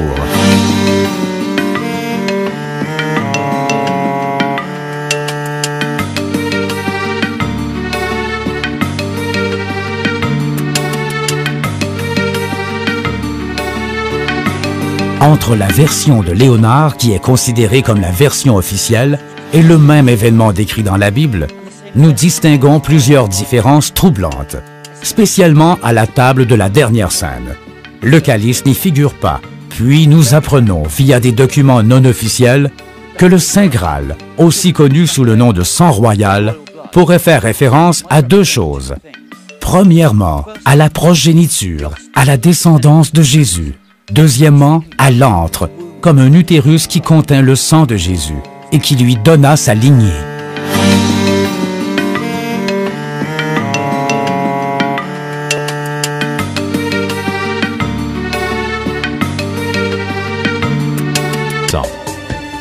Jusqu'à la dissolution complète de cet ordre, plus de deux siècles plus tard, les Templiers réussirent à préserver leur secret. La torture, la tourmente ne parvinrent pas à les dissuader et à leur faire évoquer ce qu'ils avaient trouvé. De toute évidence, l'information recueillie dans les ruines du roi Salomon méritait de perdre la vie pour être conservée. Est-ce que ces documents seraient ceux-là même qui parlent du favori de Jésus, son disciple bien-aimé? Ceux-là même qui parleraient d'une femme, Marie-Madeleine, et de la manière dont elle portait la descendance de Jésus dans ses entrailles? Si le Saint Graal n'est pas une coupe, alors qu'est-ce?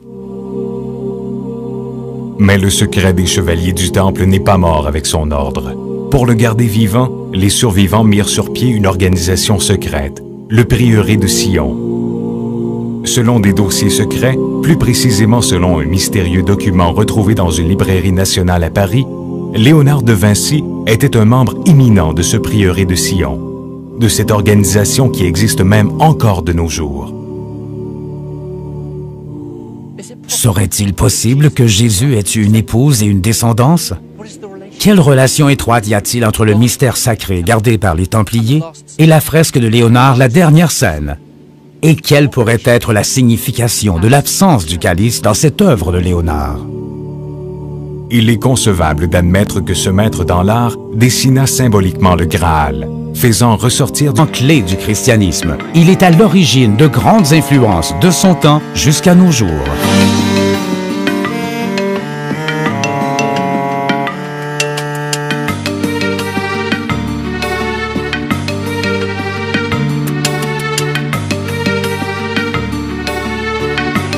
Entre la version de Léonard, qui est considérée comme la version officielle, et le même événement décrit dans la Bible, nous distinguons plusieurs différences troublantes, spécialement à la table de la dernière scène.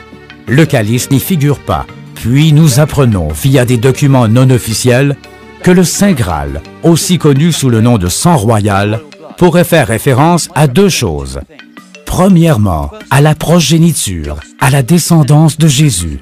Deuxièmement, à l'antre, comme un utérus qui contient le sang de Jésus et qui lui donna sa lignée.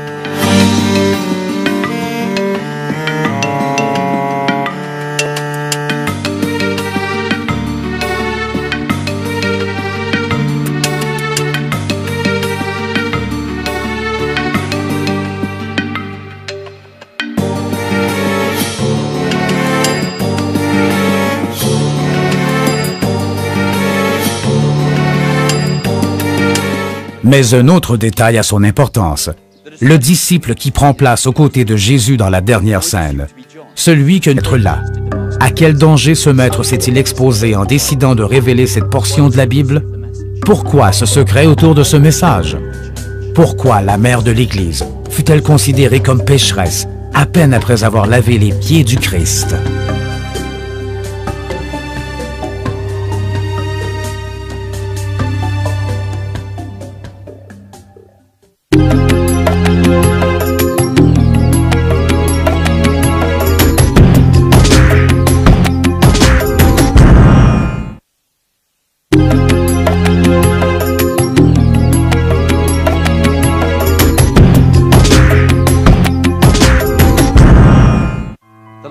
La vie du Christ est ponctuée de passions, de controverses, d'incertitudes et de conflits internes de différentes natures. Est-ce que Pierre et les apôtres auraient pu seulement imaginer qu'un jour, cette institution religieuse qu'ils construisaient allait devenir aussi puissante? Pourquoi, au sein de la religion la plus puissante du monde occidental, ne retrouve-t-on qu'une mère vierge et non une épouse? Dans la religion catholique, le rôle de la femme semble être réduit à la simple dévotion. Malgré le fait qu'il bénéficiait et appréciait la protection des plus puissants, Léonard de Vinci risqua tout pour nous livrer cette version de l'Évangile reniée par l'Église. Nous pourrions attribuer à ce geste un caractère insignifiant. Et leur racontait des blagues, jusqu'à temps que le rire contorsionne leur visage. Il enregistrait ces visages déformés dans sa mémoire pour plus tard pouvoir à l'aide de crayons de charbon, les reproduire minutieusement sur papier.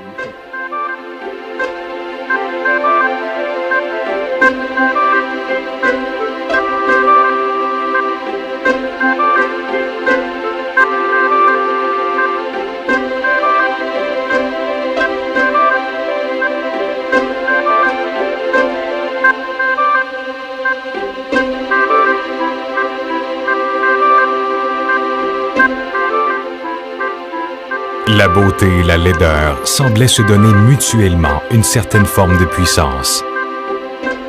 Léonard de Vinci Que cherchait-il derrière ces expressions grotesques? Quelle beauté retrouvait-il à même la laideur? Avant même de pouvoir concevoir la beauté, il devait comprendre l'essence première de la laideur, la recherche de la vérité par l'étude des opposés. Léonard étudiait le point de rencontre des opposés en espérant la révélation d'un secret. Léonard considérait ses pères comme étant des êtres imparfaits.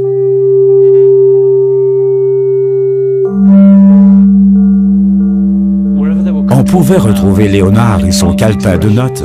Partout se manifestaient des bouches contorsionnées et des expressions d'extase. Toujours obsédé par l'instant où la vie quitte un corps, en la quête de l'essence de la vie et à la recherche des proportions exactes des choses. Est-il concevable qu'un homme aussi audacieux et curieux que Léonard de Vinci ne se soit jamais aventuré sur les sentiers mystérieux de l'alchimie, les pratiques qui allaient à l'encontre des dogmes officiels, telles que l'explication de l'âme, même si elles étaient conduites par la raison et avaient pour finalité la connaissance, ont toujours été qualifiées d'hérétiques.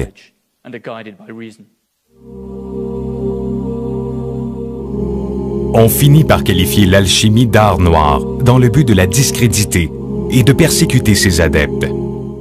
Ce domaine était strictement réservé aux membres de l'Église toute-puissante, aux gardiens du bien et du mal, aux bergers, donc aux travailleurs de Dieu.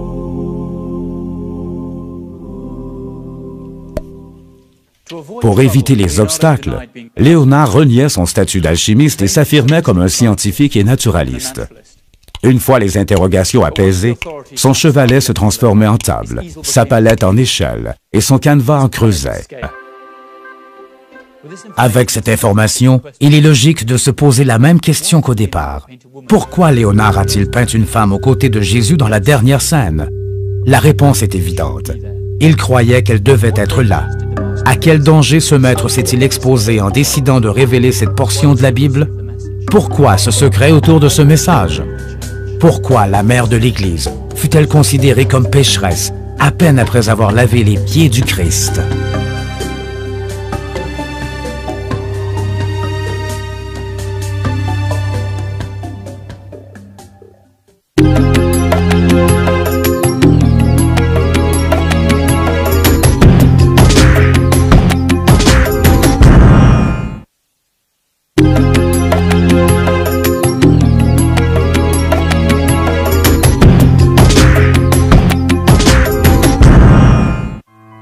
La vie du Christ est ponctuée de passions, de controverses, d'incertitudes et de conflits internes de différentes natures. Est-ce que Pierre et les apôtres auraient pu seulement imaginer qu'un jour, cette institution religieuse qu'ils construisaient allait devenir aussi puissante? Pourquoi, au sein de la religion la plus puissante du monde occidental, ne retrouve-t-on qu'une mère vierge et non une épouse? Dans la religion catholique, le rôle de la femme semble être réduit à la simple dévotion. Avant même de pouvoir concevoir la beauté, il devait comprendre l'essence première de la laideur, la recherche de la vérité par l'étude des opposés. Léonard étudiait le point de rencontre des opposés en espérant la révélation d'un secret. Léonard considérait ses pères comme étant des êtres imparfaits, comme de simples corps en guise de containers pour transporter les âmes. Peu importe que ces corps soient jeunes ou vieux, féminins ou masculins, beaux ou laids. La quête inépuisable de Léonard était portée sur la recherche de l'âme éternelle, de l'inconnu, de réponses aux mystères et aux énigmes.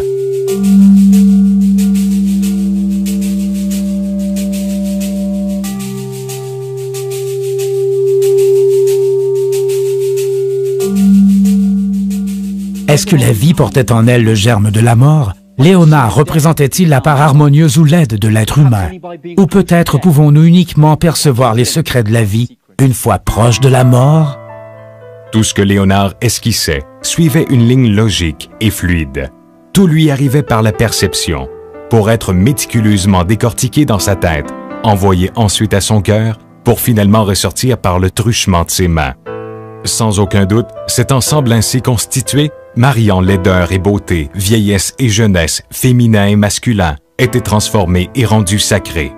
Avec chaque détail, Léonard pouvait secrète, le prieuré de Sion. Selon des dossiers secrets, plus précisément selon un mystérieux document retrouvé dans une librairie nationale à Paris, Léonard de Vinci était un membre éminent de ce prieuré de Sion, de cette organisation qui existe même encore de nos jours. Serait-il possible que Jésus ait eu une épouse et une descendance? Quelle relation étroite y a-t-il entre le mystère sacré gardé par les Templiers et la fresque de Léonard, la dernière scène? Et quelle pourrait être la signification de l'absence du calice dans cette œuvre de Léonard? Il est concevable d'admettre que ce maître dans l'art dessina symboliquement le Graal, faisant ressortir du tableau le secret qu'on lui avait demandé de préserver, le secret des chevaliers du Temple. Dans ce cas-ci, les entrailles de Marie-Madeleine pourraient faire référence au Graal, ces entrailles qui portaient le sang de Jésus, ou autrement dit, sa descendance. Dans la dernière scène, tous les apôtres ont à première vue des traits assez masculins. Mais si l'on y regarde de plus près, on peut remarquer que la position penchée en avant du supposé Jean est plutôt féminine. Ses traits et attributs sont également féminins. D'autres indices viennent confirmer ce constat. Les vêtements portés par Marie-Madeleine et Jésus ont des formes et des couleurs inversées mais complémentaires. Ils tendent la tombée de la nuit, moment qu'il pensait plus approprié pour s'adonner à ce passe-temps. Il entrait dans ces morgues non pas en tant que profanateur, mais en tant que scientifique. Initialement, pour Léonard, c'était une montée d'adrénaline, les prémices de sa fascination, une fascination qu'il réservait pour plus tard. Des corps couverts et en décomposition avancée, une chandelle, la gestuelle finale de l'art de la vie, le grand silence. Tel le brouillard, il rôdait, sa main tenant maladivement son cahier de notes. Bravant les interdits et les tabous religieux, malgré les risques d'accusation éventuels, rien ne pouvait arrêter ses recherches. Il avait passé des années à se préparer pour cette tâche. Son mentor lui avait répété maintes et maintes fois qu'un artiste se devait de connaître le corps humain en profondeur. Il devait comprendre la manière dont bouge un bras, la manière dont les muscles du visage s'articulent quand une personne pleure et même la manière dont les rides du visage se forment avec le temps. Mais Léonard allait bien plus loin que la simple anatomie. Il étudiait les cadavres pour découvrir des traces de leur dernier souffle. Léonard mit en évidence que la colonne vertébrale se constituait de 31 vertèbres et non de 30 comme on le croyait auparavant. La découverte de cette dernière vertèbre était essentielle à la compréhension du fonctionnement de la colonne. Léonard comprit les Ne pouvant être décodé que par un alchimiste ou de ceux possédant les yeux pour voir. Regardons maintenant avec des yeux qui peuvent voir.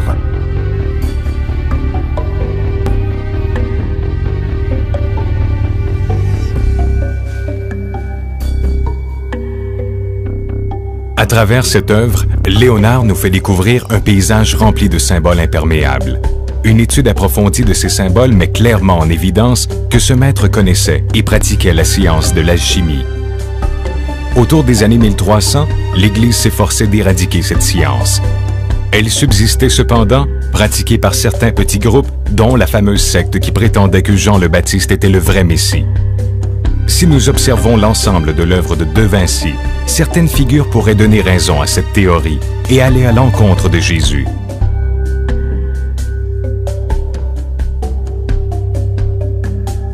Pour commencer, il y a cette espèce de large et gros caroubier qui fait référence à Jean le Baptiste.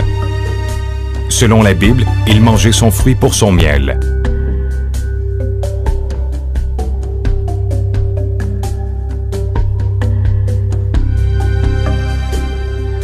Étrangement, les personnages autour de Jésus semblent souffrants et craintifs, tandis que les autres autour de l'arbre ont l'air souriants et heureux. Cinquième élément, l'élément essentiel permettant d'unir les quatre autres. Elle est unique et est l'essence même de la vie. L'étude et la maîtrise de cette proportion sacrée était l'ambition première de tout alchimiste. Avec celle-ci, ils auraient pu trouver l'élixir de la jeunesse éternelle, percer les secrets de l'éternité et de l'exode de l'âme. N'est-il pas surprenant de trouver ces symboles camouflés à même les œuvres de Léonard de Vinci?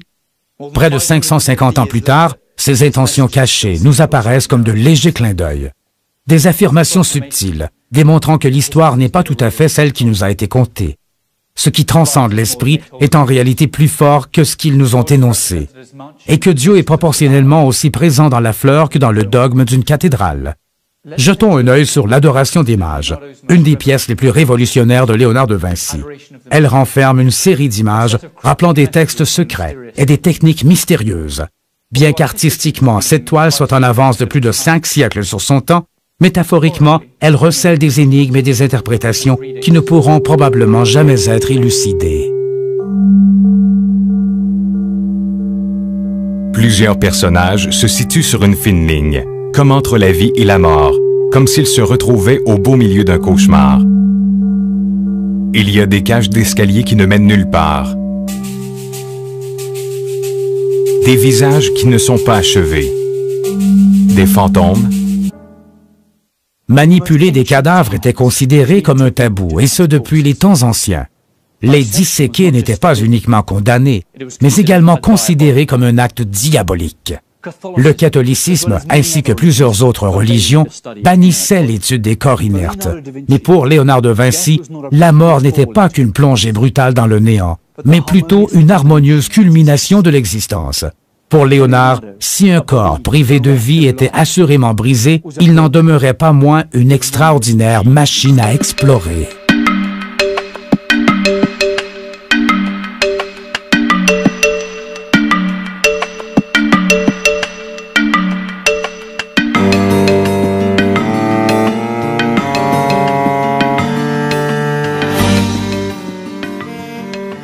Léonard faisait souvent des visites nocturnes dans les morgues des hôpitaux, des visites pour lesquelles il payait.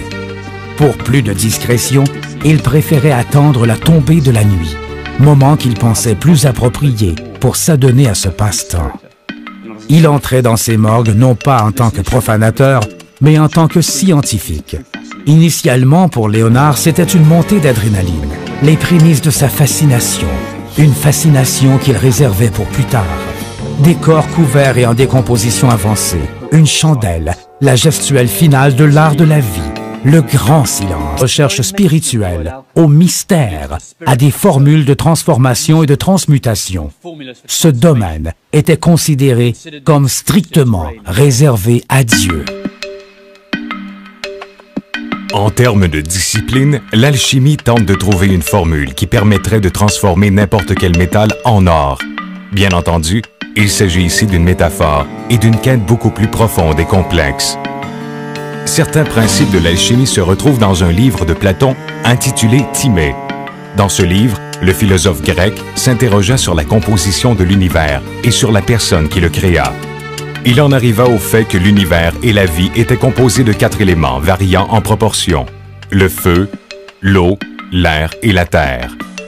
La proportion étant le cinquième élément, l'élément essentiel permettant d'unir les quatre autres. Elle est unique et est l'essence même de la vie. L'étude et la maîtrise de cette proportion sacrée était l'ambition première de tout alchimiste.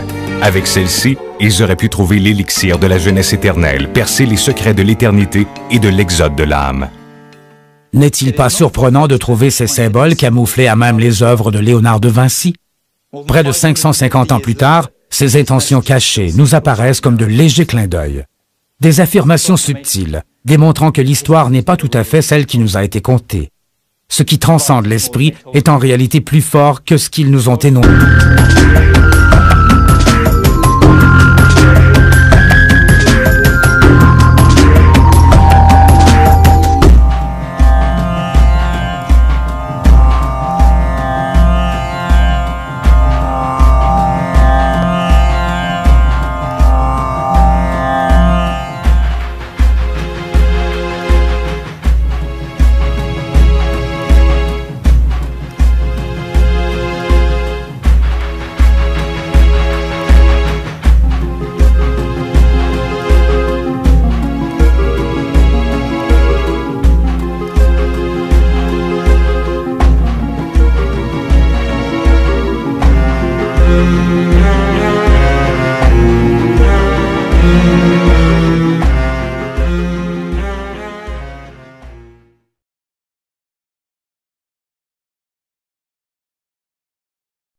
Ce document traite de sujets qui peuvent être dérangeants pour certaines personnes de l'auditoire, car il révèle différentes interprétations possibles de faits historiques. Les conclusions exposées ici sont une question d'opinion. Les preuves sont réelles.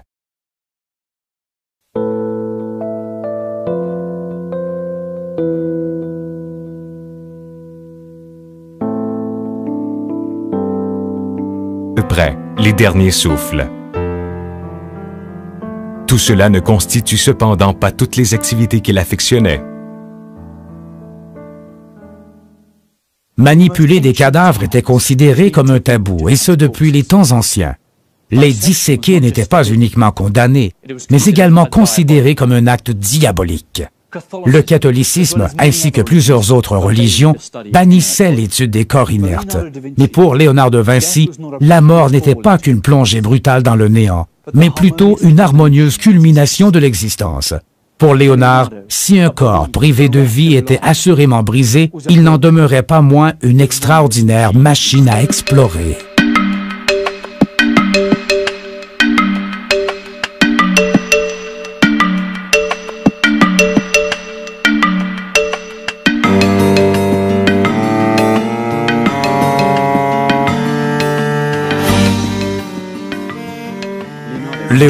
Faisait souvent des visites nocturnes dans les morgues des hôpitaux, des visites pour lesquelles il payait. Pour plus de discrétion, il préférait attendre la tombée de la nuit, moment qu'il pensait plus approprié pour s'adonner à ce passe-temps. Il entrait dans ces morgues non pas en tant que profanateur, mais en tant que scientifique. Initialement, pour Léonard, c'était une montée d'adrénaline, les prémices de sa fascination, une fascination Premièrement, à la progéniture, à la descendance de Jésus.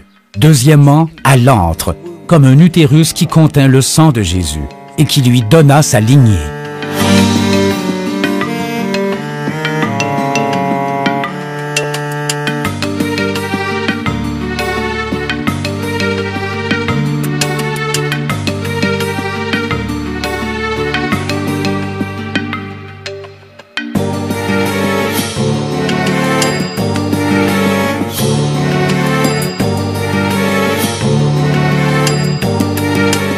Mais un autre détail a son importance.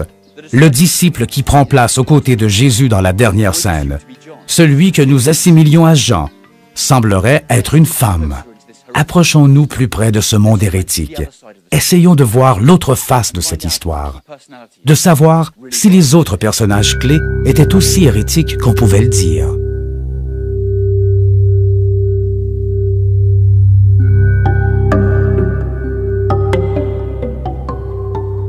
La version non officielle nous dit qu'il y a plusieurs documents qui racontent la vérité sur la vie de Jésus, des apôtres et sur le monde pré-chrétien.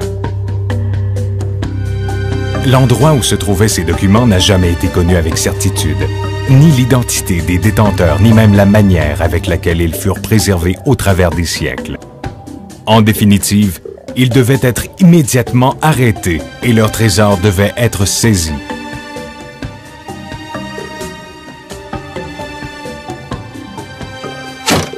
Une fois encore, la croix était trempée dans le sang. Jusqu'à la dissolution complète de cet ordre, plus de deux siècles plus tard, les Templiers réussirent à préserver leurs secrets. La torture, la tourmente ne parvinrent pas à les dissuader et à leur faire évoquer ce qu'ils avaient trouvé. De toute évidence, l'information recueillie dans les ruines du roi Salomon méritait de perdre la vie pour être conservée. Est-ce que ces documents seraient ceux-là même qui parlent du favori de Jésus, son disciple bien-aimé? Ceux-là même qui parleraient d'une femme, Marie-Madeleine, et de la manière dont elle portait la descendance de Jésus dans ses entrailles? Si le Saint Graal n'est pas une coupe, alors qu'est-ce? Mais le secret des chevaliers du Temple n'est pas mort avec son ordre. Pour le garder vivant, les survivants mirent sur pied une organisation secrète, le prieuré de Sion, Selon des dossiers secrets, plus précisément selon un mystérieux document retrouvé dans une librairie nationale à Paris, Léonard de Vinci était un membre imminent de ce prieuré de Sion, de cette organisation qui existe même encore de nos jours. Serait-il possible que Jésus ait eu une épouse et une descendance? Quelle relation étroite y a-t-il entre le mystère sacré